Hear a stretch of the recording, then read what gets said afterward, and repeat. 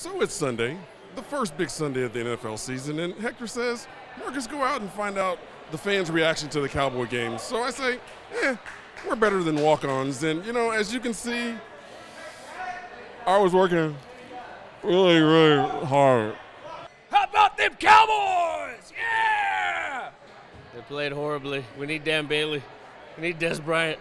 Please answer your phones. Hopefully, we're hoping. Hopefully, don't, we don't have another bad season. So we'll see how it goes. It was rough. I'm not gonna lie. Uh, we didn't do that well, but it's week one. I mean, still a whole season left. You know, I'm a real Cowboy fan. I was there for the Quincy Carter years. I thought I'm, I was there for Vinny Testaverde. Like, we'll we'll pull it out, man. We'll be better. Well, a little disappointing, but it's the first game of the season, so pretty optimistic that they'll turn it around eventually.